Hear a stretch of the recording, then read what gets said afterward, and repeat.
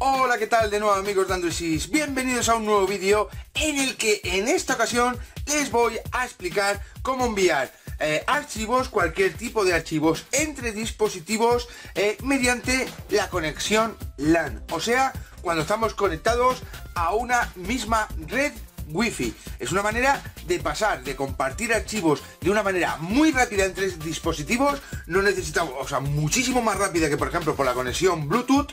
Eh, eh, puede estar eh, de rápido la diferencia entre la conexión Bluetooth y mediante VLAN como en un 500% de, de, diferencia en transmisión de datos. Es la manera más rápida de compartir archivos entre dispositivos.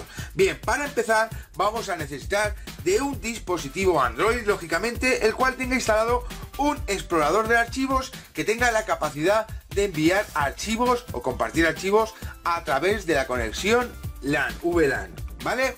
Eh, nosotros hemos elegido el explorador de archivos que más utiliza la gente, que es ES File Explorer. ES explorador de archivos que lo podéis descargar de manera totalmente gratuita en el Play Store de Google, la tienda de aplicaciones oficiales para Android. Bien, una vez eh, descargado, vamos a abrir en el mismo, o sea, en los dos terminales, el, el explorador de archivos. Como veis, empieza la home page, que es lo, uno de los cambios que menos, que, menos me gusta de las últimas versiones del explorador de archivos. Y bien, ahora lo único que tenemos que hacer es dirigirnos a la ruta donde, tengamos los archivos a compartir. Por ejemplo, aquí me voy a ir a la carpeta download. Vale, no tengo nada en la carpeta download. Vamos a ver SDK, download. Bueno, lo voy a hacer con el otro, ya que este no tengo nada.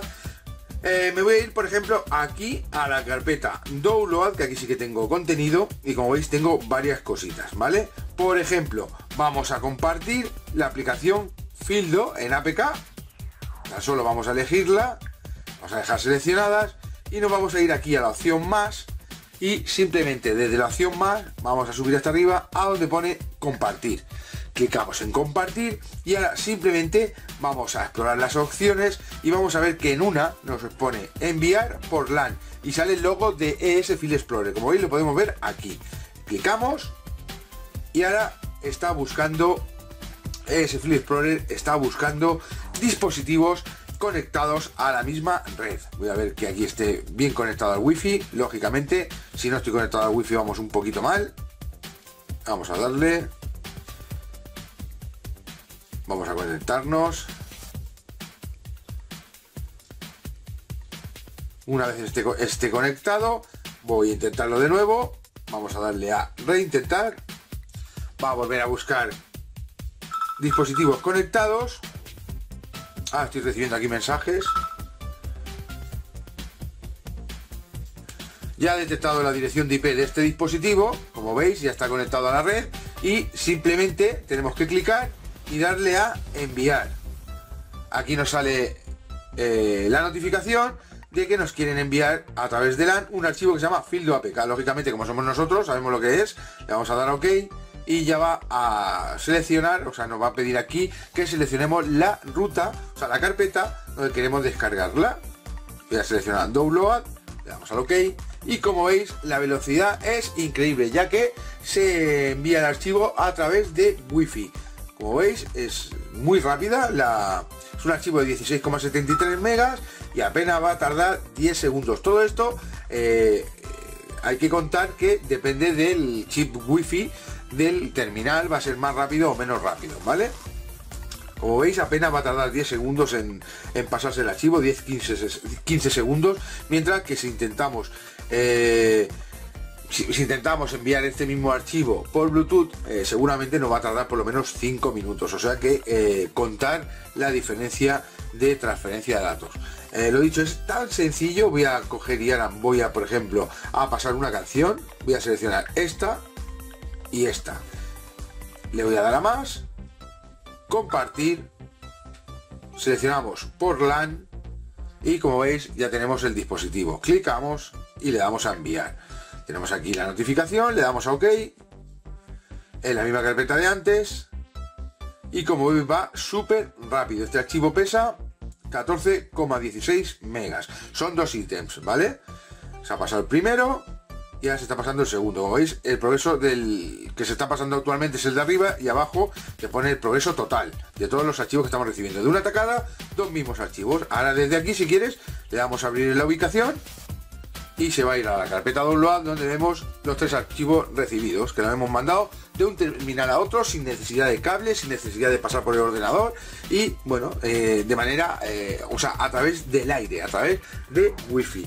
Eh, lo dicho, si estáis en una red wifi que hay más de un dispositivo conectado, pues lo más lógico para identificar el dispositivo, vamos a clicar de nuevo, para identificar el dispositivo eh, por la IP, que lo pone aquí, pues nos vamos a ir a la conexión wifi. Vamos aquí, más opciones, nos vamos a ir a la conexión wifi, vamos a clicar sobre ella, vamos a ir a las opciones, aquí, redes guardadas, desde las mismas opciones.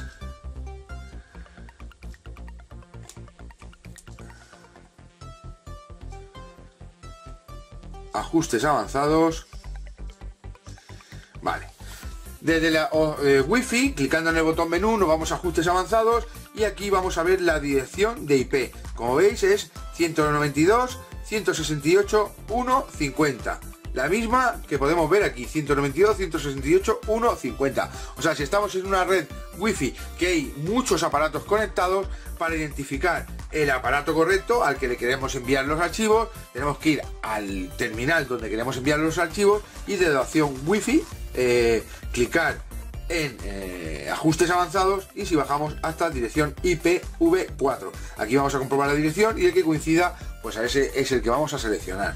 Eh, lo dicho, una manera muy sencilla, vamos a darle de enviar archivos eh, entre dispositivos sin necesidad de utilizar un ordenador personal ni nada por el estilo. Como veis, me vuelve a salir la notificación, le damos OK, seleccionamos el, el destino y aceptamos en el terminal. Y como veis, es la más de rápida y la más de sencillo. Así que ya sabéis, siempre que queráis enviar eh, archivos rápidamente entre dispositivos que estén conectados a una misma red, eh, acordaros de ese File Explorer, que para mí sigue siendo uno de los mejores exploradores eh, de archivos para Android, y acordaros de este tutorial que tan solo quiere haceros la vida un poquito más fácil.